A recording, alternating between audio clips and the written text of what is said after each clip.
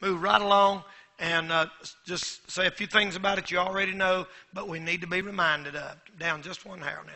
Uh, Proverbs chapter 13, and uh, the Bible said this. Here's, your, here's what your Bible says. The Bible, the greatest book in the world, the only perfect book in the world. Matter of fact, the only perfect thing in the world is the Word of God. Proverbs chapter 13 and verse 15, very well known verse. Good understanding giveth favor, but the way of transgressors is hard. I want to preach on the way of transgressors. The Bible said the way of transgressors is hard. Do you know there's nothing in the Bible about the Christian life being hard? You have battles, you have trials, we have burdens, we have persecution. But the Bible don't say it's hard. The Bible said, My yoke is easy and my burden is light. We, we fight hard sometimes and we, we suffer in the Christian life. But as far as just having a hard time, um, in, in that sense, the Bible said the way of transgressors is hard. Now, you're going to have it hard, some, uh, have hard times in life, know if you live for the Lord or not. Everybody does. But you're a whole lot better off to serve God and do right and be blessed for it than to live for the devil and have to pay for it. So uh, the Bible said the way of transgressors is hard. It seems like in Christians, um, uh, you know, you, you, you have it hard, but there's somebody with you. But the sinner only has pleasure for a while and then eternal suffering in this world and in the world to come. So I want to say a few things about the way of transgressor this evening. First of all, the way of the sinner is the way of bitterness. If a man decides, or a woman, or a boy or girl, decides to live their life in sin, they're going to wind up being in bitterness. The Bible said sin at last, it bites like a serpent and stings like an adder. The Bible talks about that adulterous woman and said her end is bitterness. Have you ever seen uh, some of you not old enough to do it, uh, have it yet, but uh, some of us are old enough to remember movie stars back from the uh, uh, days, you know, the 70s and 80s and 90s. And oh, they were the most beautiful woman in the world and everybody. And then all of a sudden you start seeing a new face on all the magazines. And whatever happened to them? Uh, whatever happened to all them old old movie stars? They're somewhere sitting in an old mansion in Hollywood, all wrinkled up, ashamed to come out of the house. They've lost their beauty. They've lost their uh, job offers, and they drink liquor and sit there a bitter old uh, evil woman. Many of them wind up like that. The way of a sinner is the way of bitterness. Man thinks sin is sweet. It seems like it to start with, but then it turns bitter and never satisfied. Ladies and gentlemen, Solomon, uh, uh, he could have hired Bill Gates uh, to mow his grass and Donald Trump take his trash out. Solomon was a rich man. And the Bible said that Solomon had everything a person could ask for. And he said, vanity of vanities. All is vanity. If we'd ever get it through our head that this, this life, I was, I was coming through Charlotte uh, late last night uh, uh, coming home. And, you know, I looked over and seen all those big buildings in Charlotte and everything. And it's pretty. It really is. It's pretty to look at. But I can't look at it without seeing down in there, there's people being stabbed. There's somebody's heart broke. Some kid crying. Some kid being mistreated, raped. Some drug deals going on. It, this old world is not what it's cracked up to be. This old world puts on a pretty front. But I'm telling you tonight, at the bottom of that lifestyle is bitterness. I, I, it's very, very, very bitter. Said one time years ago, this man was sitting in a bar uh, up in New Jersey, and he's sitting there in a bar having a few drinks. And about that time, a friendly man come up and sat down beside him and begin to talk. And a little bit, another friendly man come up beside him and begin to talk. And after they had a few drinks, the friendly man was gone, and so was his wallet. And they took him away. Now that's the way sin is. Sin come up, somebody say, oh, "Man, you're cool. I love you. You're my friend," and then bam, it gets you. If there's one thing you kids need to get through your head at an early age, it would be this. When you play around with sin, it will come back and bite you. It will bite you. That Bible said, be sure your sin will find you out. And mamas and daddies, it don't hurt us to hear this once in a while. Sin's still wrong. Sin's still bad. Sin ain't never been, uh, it might whitewash it, but it's still sin. Amen? I'm telling you, brother, you, you, you can call a stink perfume all you want to, but it still stinks. And that's the way sin is this evening. The Bible said in Proverbs 17 25, a foolish son is bitterness. Romans chapter 3 and verse 14, it said their mouth is full of bitterness. Isaiah 24 and verse 9 said, Strong drink shall be bitter to them that drink it. Uh, the Bible said and, and that Peter went out and wept bitterly. It caused him bitterness when he sinned against the Lord. The Bible said in Acts 8 23, he, Paul looked at that guy, I think Peter 1, he said, Thou art in the gall of bitterness. The way of the sinner is the way of bitterness. Amen. And ladies and gentlemen, you hear me this evening, it will make you bitter. I'm telling you, the prodigal son found it out. Judas found it out. Saul found it out. Adam and Eve found it out. Cain found it out. Samson found it out. Uh, you, you get in a fight. Uh, you, you, like, you think all them buddies is your buddy down there. You wind up getting in a fight. And then you wind up getting in a divorce. You wind up getting arrested. And you wind up getting in jail. And you wind up getting your teeth knocked out. And then you wind up having to go to court. You wind up having to pay a bunch of fines. And you wind up having. That's the way of sin. Uh, the devil paints you a pretty picture, kids. But don't you believe it. He'll show you them little girls on TV, Miley Cyrus and all them little girls on there twisting or anything. Man, they got it made. You just watch their life for just a little while. They're already going down. They're already going down. If we could ever get it through our heads tonight, young people, listen to me, uh, that the way of sinner is the way of bitterness, you'd be a lot better off. Number two, I would say secondly tonight, the way of the sinner is the way of slavery. The way of a transgressor is the way of slavery. Did you know the Bible said, He that committeth sin is a servant of sin? Do you understand tonight that when you live a life of sin, you are not living free, you are under its power, and you are a slave to it? Uh, it, it, always it always fascinated me. Years ago, when all them hippies came out, that I and I used to pick them up hitchhiking all the time. You don't see them much anymore. But here's a guy. He got on combat boots up to there, weighed about ten pounds each, and an old pair of nasty blue jeans. Ain't had a bath in a week or longer. Big old backpack on his on his on his, it's 100 degrees, and him sweating like a dog, and he's out there, old, old gruffy beard, and ain't got to shave, and, and all, and, and starving, and everything else. And I pick him up picture, and said, man, what are you doing? He said, man, I'm just free, man. I'm just free. And I said, Lord, people in jails got it better off than you do. I mean, at least they got, they get three meals a day and place to sleep. And, and I'm telling that's what the devil does. The devil makes you think freedom.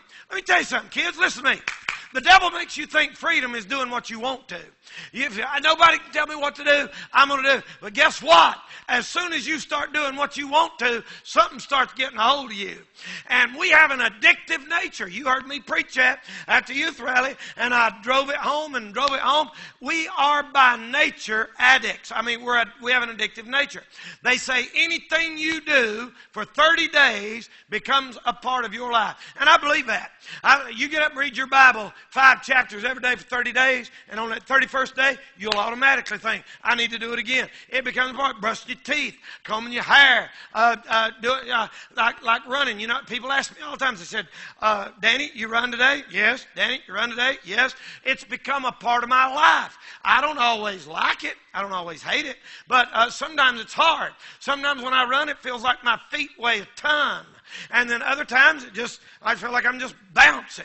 And I don't understand that, but it, it becomes a part of it. We get addicted to it. You get addicted. You get addicted to exercise. You get addicted to sleep. You get addicted to eating. You get addicted to all kinds of stuff. There's a lady the other day down at the hospital. It was carrying a nurse. And I come in there the other day and I said, it's uh, 99 degrees outside.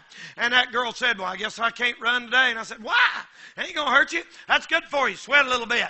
And I, you know why? Because it becomes a part of you. I, uh, uh, several years ago, um, I, I got uh, to where I, I was uh, uh, gaining a little weight. I know y'all laugh, but it's true. And uh, and so I, my girls was all on that Atkins diet, and I said, I'm quitting drinking Pepsis. I'm quitting drinking Pepsis because Pepsis is one of the worst things you can do uh, to drink for you, unless you drink Mountain Dew, and the only thing worse than Mountain Dew is Sun Drop. Let's get quiet in here. Uh, but anyway, I loved it, and I love Pepsi. I don't care nothing about Mountain Dew, don't care nothing about Sun Drop, but I like Pepsi. I love Pepsi. And I didn't drink, well, I put them down, buddy. And I didn't drink one for, I guess it's three or four months. I didn't drink a Pepsi. And Pepsi's not illegal. Pepsi's not even sinful.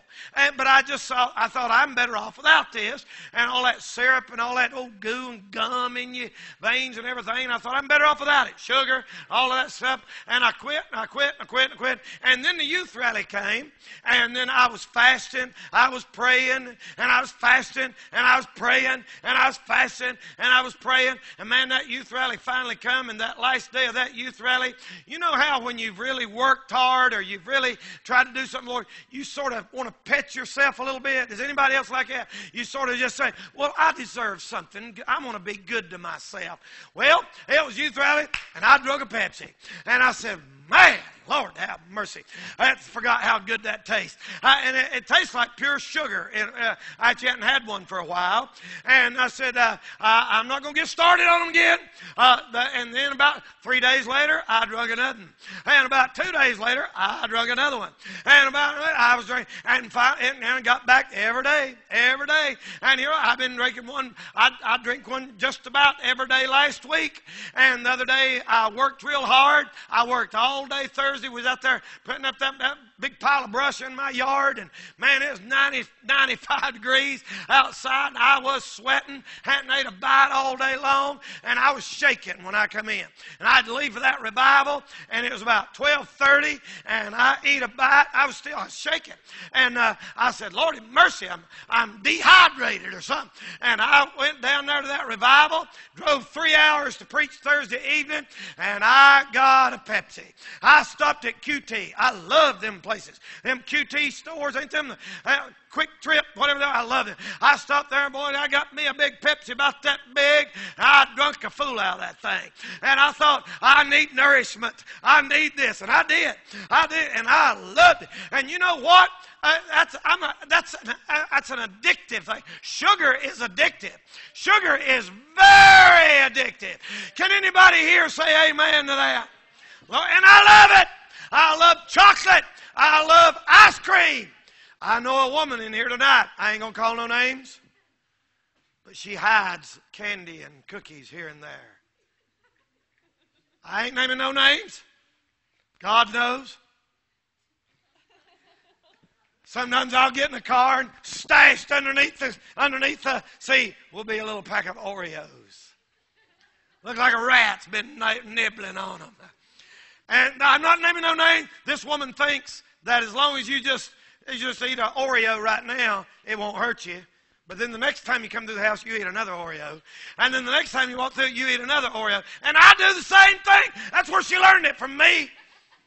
Because you think, well, a little bite of candy, little bite of candy, little bite of candy. And I said all that to say this. There ain't nothing wrong with eating some candy. There ain't nothing wrong with some sugar. There ain't nothing wrong with some in moderation. But I'm telling you, if sin, if, if, sugar's that addictive and chocolate's that addictive, what do you think bad movies are? What do you think alcohol drugs are? Your body devours it. Your body gets addicted to it. They say there's some drugs, you take them one time, you're hooked. The way of sin is the way of slavery. If you drink alcohol, cigarettes, anything, anything. Your body gets addicted to it. And Paul said, I will not be brought under the power of any. I don't care if it's iced tea. I, you ought to be able to fast a day and not have none of that stuff. I am not going to let it be my boss. And I, by the grace of God, I ain't perfect. We sin. I sin every day. I don't want to. I don't mean to always. But I'm telling you one thing by God's grace, I'm not going to let sin run my life. I'm not supposed to. Don't have to. Brother Derek brought a great lesson the other morning. He was talking about we don't have to sin. That's true. You don't have to. You do, but you don't have to. There's not in the Bible says you have to sin every day. But I'm telling you one thing, we don't have to be a slave to it. The way of sin is the way of slavery. Amen. That's right. Number three, the way of transgressor is the way of hardness of heart. Do you know the more you sin, the harder your heart gets? You know, you hear the gospel when you're young and you're really tender to it and you know the Lord there and you know there's a heaven and you know there's a hell and every time you say no to God, your heart gets just a little bit harder.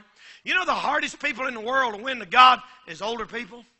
You wouldn't think that, would you? Wouldn't you think that somebody got out and done everything they wanted to and then they're facing the last few years of life? You'd think they'd all get saved, but it ain't that way. The truth is, it's rare for an older person to get saved. I can count on one hand the people I've seen over 75 get saved since I've been preaching.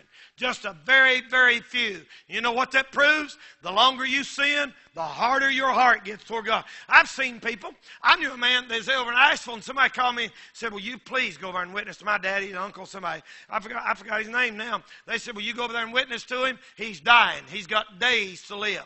Now I went over there, and I was the sixth preacher that had been to see that man. He's laying there dying. He ain't never going to get out of that bed. He ain't never going to go home. And I asked him, Do you want to get saved? And he said, I'm not ready yet. He can't go party.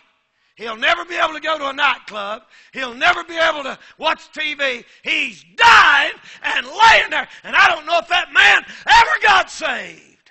You know what that proves? Kids, listen to me.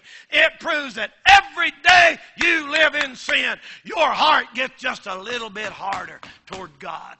I'm telling you tonight, if you can still feel conviction and you can still feel God dealing with you and you can still feel, you ought to shout and thank God. Your heart ain't so hard that you still feel His power and presence. Hallelujah. But I was preaching last night and it got real and I felt the Lord and I started crying. There was a group of people got up. They wasn't professional. Just to know some old guy got up. I didn't think it was going to be much at all. One man played the piano, and a lady stood right here, and uh, he sung a song about I'm going home, and it got real, and it like I turned something turned flip my soul, brother. I'm glad I can still feel the Lord's presence when you can't feel Him no more, and you can't cry no more. Your heart is getting hard. You better keep yourself to where you can cry once in a while. Good for you. Number four, the way of a sinner is the way of death. The wages of sin is death. God told Adam and Eve, In the day you eat thereof, you'll die. They died that day spiritually. They died later on physically. But the way of sinner is the way of death. You say, oh, preacher, that ain't what he meant. Oh, yeah. Bible said, She that liveth in pleasure is dead while she liveth. Before you meet the Lord, you are dead in trespasses and sin. You have a live body, a dead spirit. When you get saved, you have a live spirit and your dead body. You reckon it dead from then on, every day of your life. Ladies and gentlemen, the way of the sinner is the way of death. I've, I've, uh, I've visited people. I've talked to people dying with cancer, turned yellow in the hospital. I, have seen them laying there. I mean, just yellow. I mean, as now I don't even see anything. Uh, the color, their, their body, they're like them flowers right there. Uh, just turn yellow from that uh, alcohol poisoning and uh, whatever it is, jaundice or something in their body. And they're laying there, and I, all I can think of, the wages of sin, the wages of sin. We visited a girl in the hospital, me and Kelly, uh, uh, the other day in Asheville Hospital. Her leg was split all the way down through there, where she been having dirty needles in there and, and just infected and laying there all, almost to the point of death. Laying there, I thought the wages of sin, the wages of sin, the wages of sin. Sin, I know you've heard this a hundred times. We've all heard it, but it don't hurt to hear it again. Sin will take you further than you want to go, kids. Sin will keep you longer than you want to stay, and sin will cost you far more than you want to pay. We got this idea of, well, I can go out and sin and run in and ask God to forgive me and everything will be all right. God will forgive you, but there's always consequences. Always consequences to sin. It leaves a scar. It leaves, there's a payday. You reap what you sow. The wages of sin is death, the Bible says. And finally, number five, and I'm through. The way of a sinner is the way of condemnation. Most people live like they'll never give an account of their life to nobody. But God's out there waiting on you. Said this man one time, went and robbed this house. And it was a bad winter day and snow all over the place. And he went and broke in somebody's house and stole all their stuff and got out there during the day and he thought, there ain't nobody out on a day like this. I've got away with it. And the police come over to investigate and they got to looking around and looking around and somebody said, look. And when that guy had all their stuff in there, he backed his car into that snowbank, and his license plate took it was right in that snow, just like them letters right there. And all they had to do is go over to his house and arrest him. And that's the way sin is. You think you got it covered up and hid, but there's always you slip up somewhere. Said a guy one time, you remember years ago, some of y'all don't even remember this, and you kids don't. Years ago, the old time, Lord, before my generation come up, I remember seeing old movies, and the guy that run the camera, he'd take a camera and he'd, he'd put a blanket over his head. I don't know why they done that. Uh, but he, he put a big blanket over his head, and he'd look like that, you know, and he'd take pictures with this, these group of guys. Uh, one time this guy was taking their pictures, and they, and they got him, beat him up, and took his money. And they robbed him. But they forgot about something the negative in that camera. They thought, we'll get this money and run. Nobody will never know it. Had them on, had them on film. And I'm going to tell y'all something. You may think nobody knows what you're doing or where you're at, and God's got a camera right on you. Click, click, click. In your room at night, click. Whatever you look on your phone, Click. He's got a picture of it. He's got a picture of it. I preached last night and I said, I mean, there's a bunch of older people, and I said, you better not be looking at trash on your phone, listening to dirty music, looking at dirty pictures. And I said, buddy, it got quiet as a, a death chamber in there. We're thinking that just because your wife don't know or know that it's all right, it's not all right. Knows. God knows. The way of the sinner is the way of condemnation. Said a man one day is driving down the road. And he's driving down the road and he saw a bumper sticker. Said at the end of the road you'll meet God. Know, at the end of the road I'll meet God. At the end of the road I'll meet God. He pulled over on the side of the road and got saved. And I'm going to tell y'all the same thing tonight. And there she's going to come get us a song. At the end of the road, you'll meet God. You hear me? At the end of the road, you'll meet God. Let's get our heart ready to meet Him tonight. Let's stand by our head for prayer. The way of a transgressor is hard. Every head